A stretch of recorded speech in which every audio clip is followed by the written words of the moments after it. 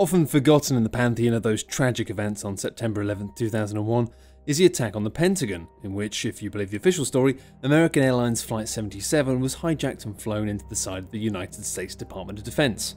However, there are conspiracy theorists out there who point to the impact holes in the Pentagon structure, which were much smaller than a standard commercial airliner, positing instead that the Department of Defense's headquarters was actually subject to a missile attack.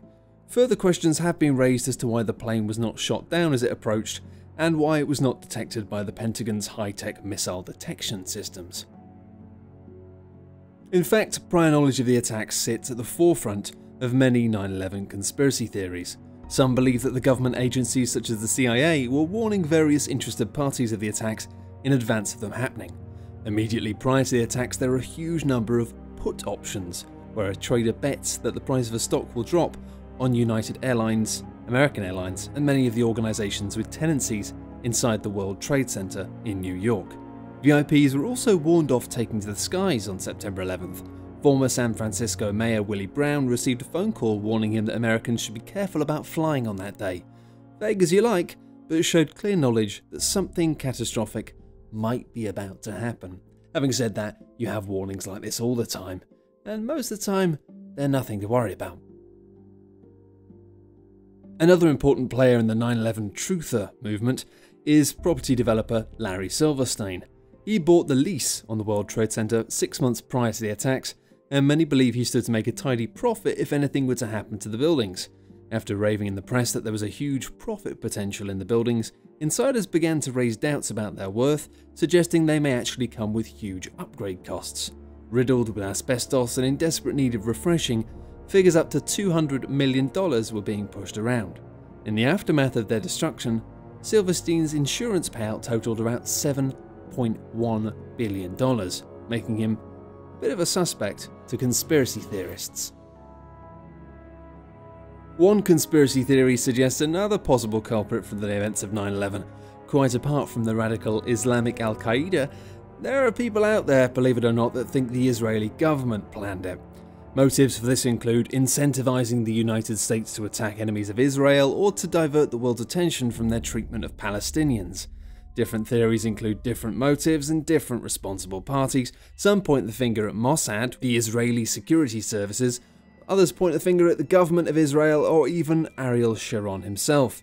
Some point to Jewish employees being forewarned to skip work by Mossad agents. Some conspiracy sites even suggest that around 4,000 Jewish people didn't turn up to work that day. 400 people subsequently died in those attacks though, which leads me to think that maybe they weren't very good at sending the emails around, if this is true.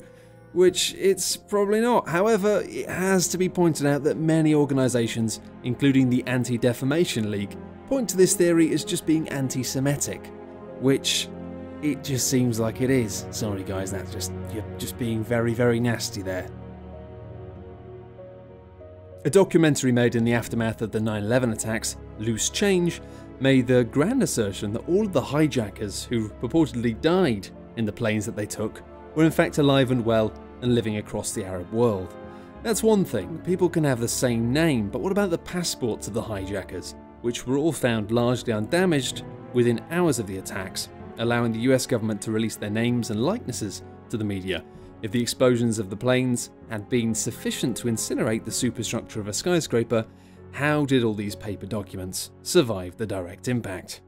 Probably a question, maybe they just scanned them in before? I don't know. One of the most troubling and compelling conspiracy theories, although a lot of them just plain aren't compelling at all if you ask me, surround the suggestion that the cell phone calls made from the hijacked planes as desperate passengers tried to console their loved ones with their dying words were fakes I don't know how compelling this is, frankly. Many scientists and skeptics alike maintain that cell phones would be unable to receive reception at the cruising altitude of a plane.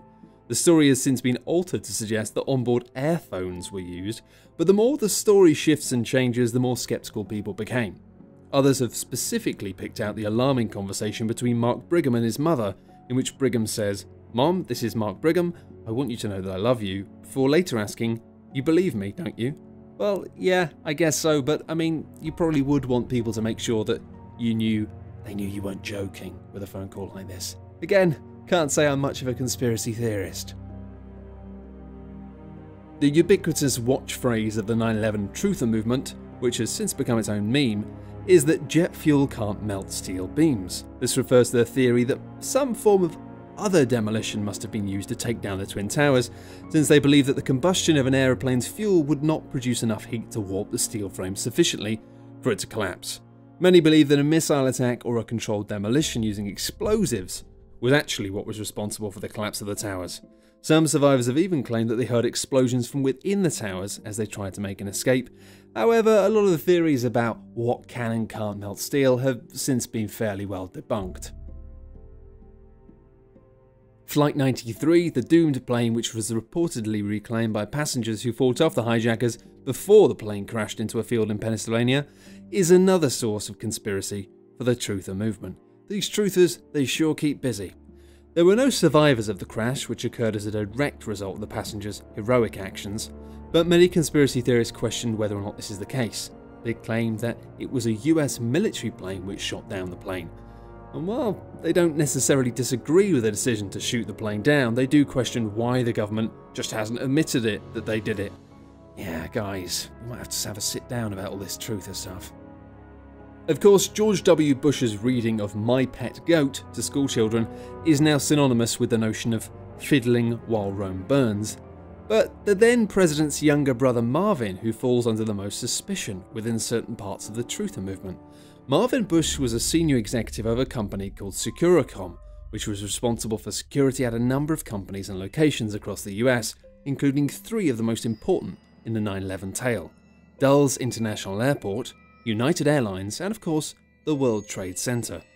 On the weekend prior to the attacks, there were a series of power downs in the South Tower which were controlled by Securacom, which left the tower without electricity for a day and a half.